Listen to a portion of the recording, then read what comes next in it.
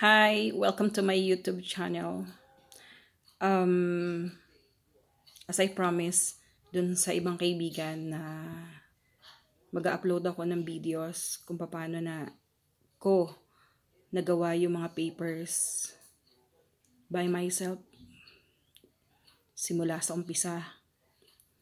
So, gusto kong i-share sa inyo yun ng buong puso, syempre nag-ayos ako ng konti para naman pag napanood naman ng anak ko yung video ko in the future eh sabihin naman niya sa akin na ano wow mommy ah nag-ayos ka pa. Oh syempre naman kahit konti. Um so iniisip ko kagabi kasi I started my my new YouTube kagabi. So nag-start ako doon sabi ko, desidido ba ako na gawin to? Mm, siguro yes, kasi wala naman akong magawa. Saka, today, today meron akong, meron akong online study. So, kasi, na, minsan nakakatamad. After na algebra, tonight is geometry naman. So, parang, hindi kasi ako magaling sa math. Eh, parang nadalong isip ako. But, tatapusin ko pa rin yung online study ko kasi nagbayad din naman ako. Sayang. Tsaka, yung knowledge kasi, hindi yun nawawala eh. Pag natutunan mo siya, hindi nawawala.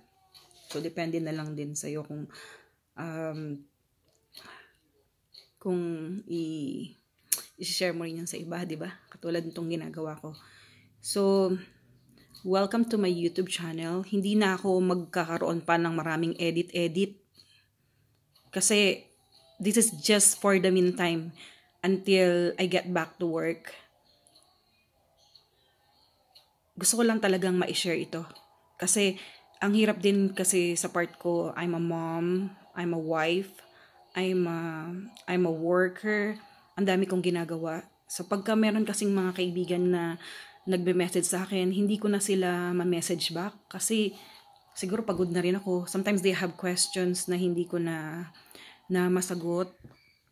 Hindi ko na talaga masagot. So gusto ko ilagay ko na siya sa isang video. Bahala na kayo na manood. And uh, kung meron akong na-miss na mga infos and uh, pwede na lang kayo mag-comment or mag-message sa akin and you can add me to on my Facebook. I'm, I am willing to help anytime kung available ako ha. Kasi syempre, gaalaga rin ako ng anak ko. Nandito rin sa akin ng nanay ko. So, yun. Um, so, bibigyan ko muna kayo ng a little, a little bit background to myself. So, lumaki ko sa Bulacan. Isa akong Bulacannya. At nag-aral ako sa, syempre sa school. So, elementary, yung elementary days ko, bata pa lang kami, eh, napakinabangan na kami ng aming magulang sa pagpapagiling ng bigas. Yun, yun yung background ko, no? Sa, nung elementary. Nung high school naman, hindi kayo maniniwala, naging mananahi ako So, nagtrabaho ako sa isang patahian para makadagdag sa pambaon ko ng high school. Hindi ko na lalawigan pa. Pero gusto ko lang makita ng ibang kabataan na may pag-asa. Hindi ko mo walang pera, walang pag-asa. College, college days. I graduated college in Bulacan din, syempre. Uh, I graduated four-year course. So, nag-working students ako. Working student ako ng uh, apat na taon. Mm. So, nag-start ako nung first year college ako. So, I was hired in McDonald's. So, nag-start ako maglinis ng banyo, ng dining, maging counter, magtapo ng basura, magkaskas ng dumi. hanggang sa maging crew trainer, hanggang sa naging local store marketing or star, store activity representative, until I become a manager.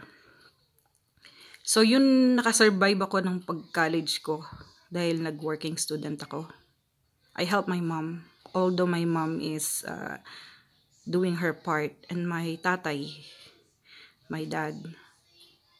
Pero yung kasing buhay ko ng kolehiyo ko is hindi rin madali dahil uh, gusto ng aking tatay eh tuminto ako sa pag-aaral ko. Dahil matutulad lang daw ako sa mga kapatid ko na nag-asawa agad. So, doon pa lang may, may, may dapat na akong patunayan, di ba? So, I graduated college. Noong time na yon ay uh, naiyak ako. Siyempre, nakakaiyak yun. Ah. Kasi hindi ko naman naisip na gagraduate nga ako eh. Kasi mahirap lang kami. That's the point. Mahirap. Walang pera. Konti. So, yung ganong senaryo ng buhay ko is yun yung naging tuntungan ko para para baguhin. So, kasama ng Lord, lumaki ako sa church. Ginamit ni Lord yung buhay ko. Yun yun.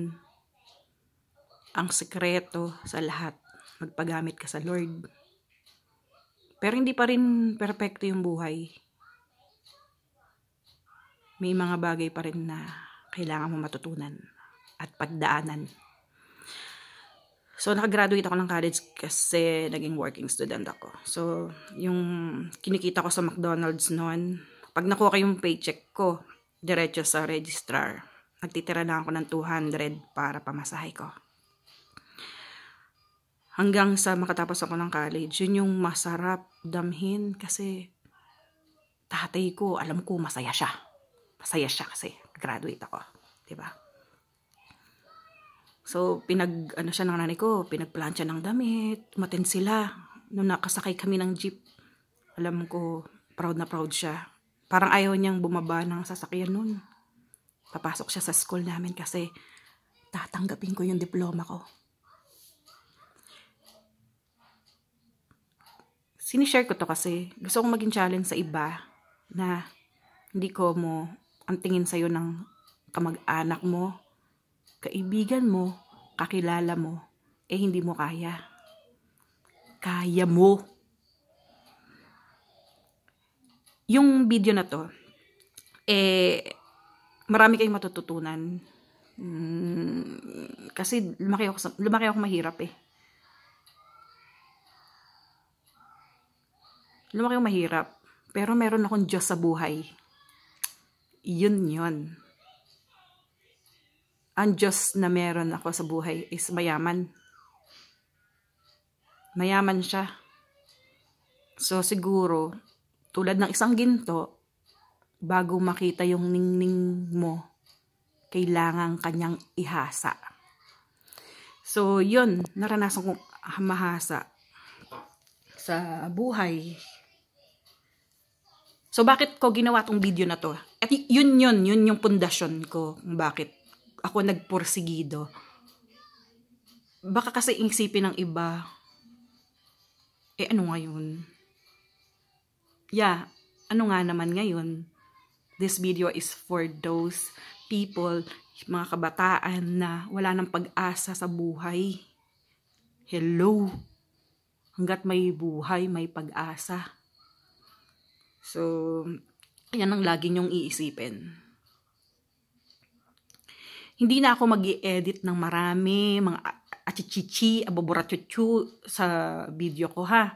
Basta, i gagawin ko yung mga videos na to para sa inyo na ano kaya kayo mga kabataan maging masaya kayo maging thankful kayo sa mga magulang ninyo na hindi nyo naranasan maging mahirap hindi nyo naranasan magbomba sa poso kasi pipihitin nyo na lang ang gripo.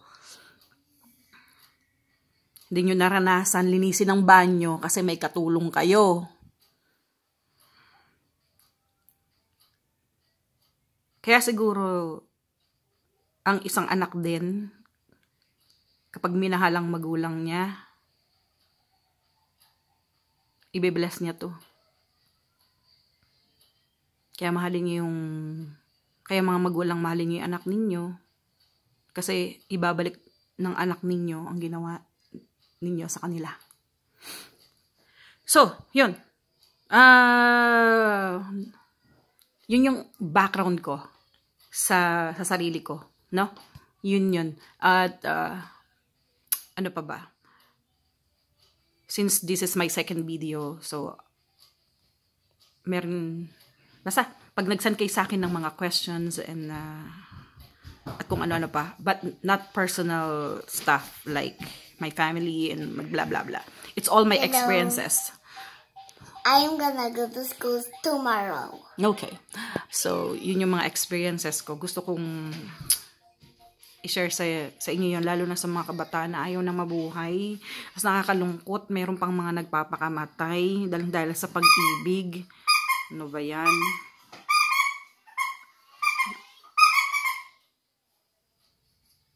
God bless you everybody yung pagiging tagumpay natin sa buhay, nakasalalay sa Lord at sa iyo.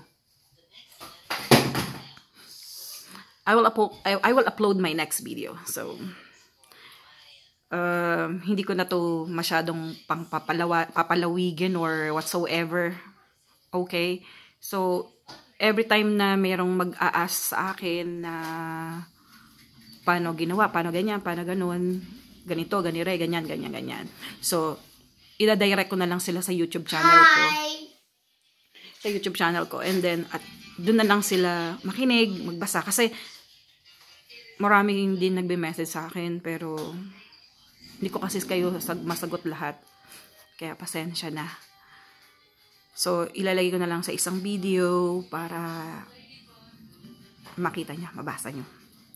Makita at mabasa kung makakagawa ako ng mga edited portion kung makayanan ko yun. Pero kung hindi, pasensya na. I'm new. Bear with me. So, thank you. Next video, upload ko na lang ha. Yun yung ano ko, personal background ko. Baka naman kasi nisip na nila or karamihan naman kasi talaga eh iniisip nila anak mayaman ako No, I'm not. Talagang sadyang ganyan lang yung kutis ko. okay? Till my next video, guys. Thank you very much. Thank you for the time. And, uh, see you.